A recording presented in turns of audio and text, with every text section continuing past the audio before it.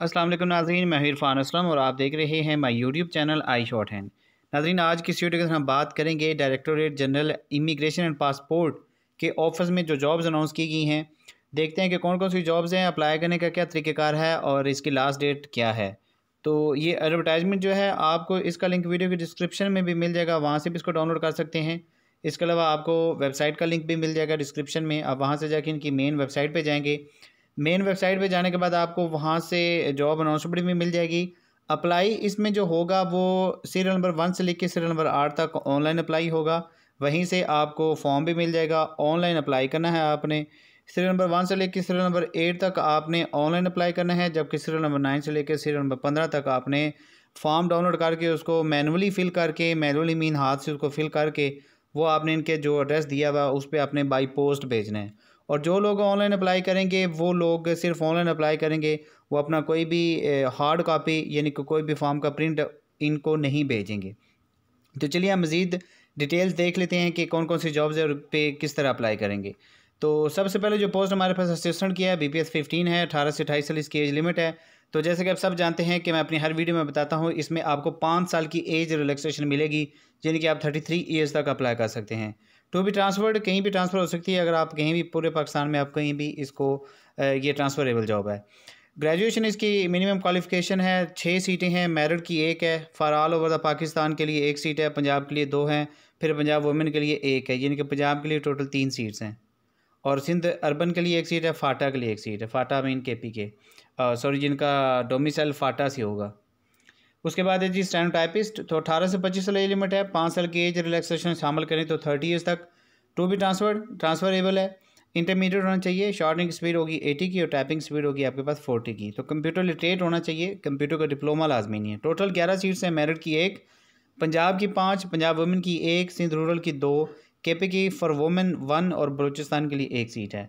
U D C उसके बाद आ जाता है जी यू डी सी आपके पास है अठारह से पच्चीस साल, ग्यारहवा स्केल है। और इसके लिए इंटरमीडिएट चाहिए क्वालिफिकेशन मेरिट की तीन सीटें हैं, पंजाब की बारह हैं, पंजाब वुमेन की एक सीट है, पंजाब मिनॉरिटी की एक सीट है। सिंध रूरल की तीन, सिंध रूरल मिनॉरिटी की एक, सिंध अर्बन की दो के पी के की तीन, बलूचिस्तान की दो, फाटा की एक। उसके बाद है जी call centre agent B P S eleven है, अठारह से पच्चीस एज लिमिट है इसमें। तो तीस साल तक आप अप्लाई कर सकते हैं। इंटरमीडिएट होना चाहिए minimum speed of ten thousand की डिप्रेशन पर आर यानी कि आपको ये नुमेरिक कीबोर्ड आना चाहिए। Two is experience in relevant field. तो जिनका एक्सपीरियंस होगा, उनको ये प्रेफर करेंगे। पंजाब की एक सीट है। उसके बाद है जी, generator operator B P S ten है। अठारह से पच्चीस एज लिमिट है। Matriculation with diploma in associate engineering, Punjab की एक सीट है।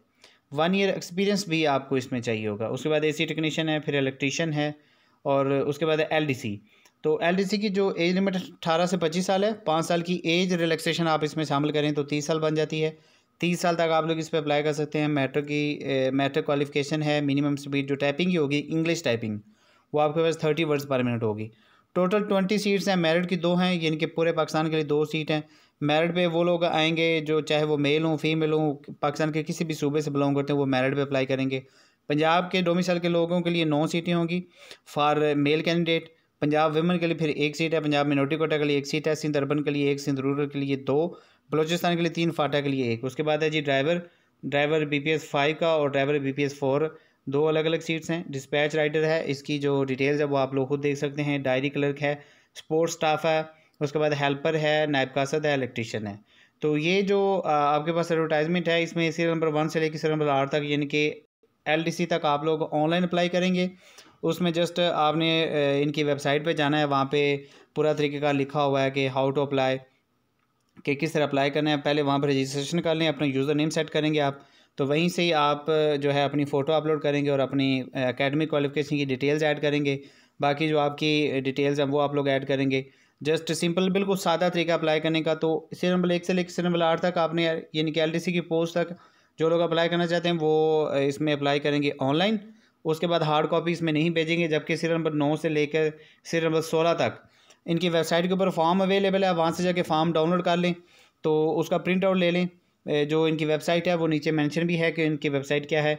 तो वहाँ से आपने फॉर्म डाउनलोड करने के बाद उसके ऊपर अपनी एक फ़ोटो लगानी है और उसको आपने इनका ये जो एड्रेस दिया हुआ है deputy director admin director general immigration and passports तो ये mauve mauve area sector G eight eleven G eight over one Islamabad. तो यहाँ पे आप लोग इसको भेज देंगे तो ये जो डिटेल्स है, ये मैं आपको बता देता हूँ। तो इसमें उन्होंने कहा जी इंटरेस्टेड कैंडिडेट सीट नंबर एक से लेकर सीट नंबर आठ तक ऑनलाइन अप्लाई करेंगे।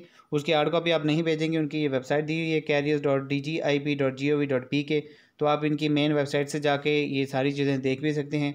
जो इंटरेस्टेड कैंडिडेट्स हो गए fulfilling above mention eligibility criteria against the post number serial number nine to sixteen shall submit their application by post courier directly director admin director general immigration address दे दिया है।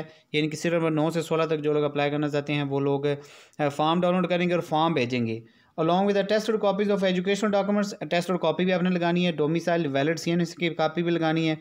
By hand submission of application will not be entertain तो आपने by post भेजने by post अगर आप भेजना चाहते हैं तो आप पाकिस्तान पोस्ट के थ्रू भेजें। ए, ए, जो टी सी एस है या लेपर्ड कोरियर है, वहाँ से आप ना जाएँ, वो दो सौ से ढाई सौ से तीन सौ रुपया लेते हैं, जबकि अगर आप बाई पोस्ट भेजते हैं तो हो सकता है आपके पचास से लेकर सत्तर अस्सी तक रुपये लगते हैं, और वो भी within twenty four hours इस डिपार्टमेंट तक पहुँच जाएगा।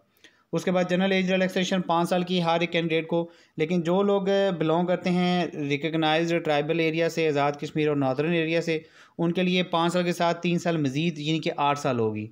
और फिर जो सिंध रूरल बलोचिस्तान से होंगे इन पो B P S fifteen and below under the federal government B P S पंद्रह से नीचे नीचे। उनको भी तीन, यानी कि आठ साल होगी।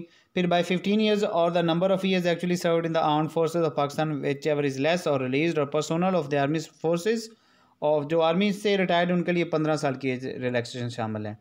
टेन ईयर्स उनके लिए होगी by ten years up to the age of fifty five years जो कि ऑलरेडी गवर्नमेंट सर्वेंट है। By ten years of disable person और by five years widow son और daughter of deceased civil servant तो उनके लिए मजीद पाँच साल की रिलैक्सेशन होगी।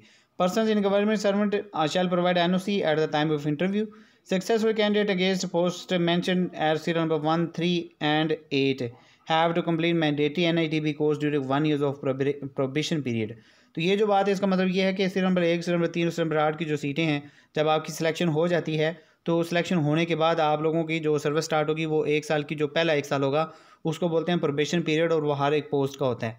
तो सिलेक्शन के बाद प्रोबेशन पीरियड के अंदर अंदर आपने एनआईटीबी से एक कोर्स करना है जो कि आपने ज़रूर करना अगर आप नहीं करते तो आपकी जो मुलाजमत है वो कैंसिल हो जाएगी।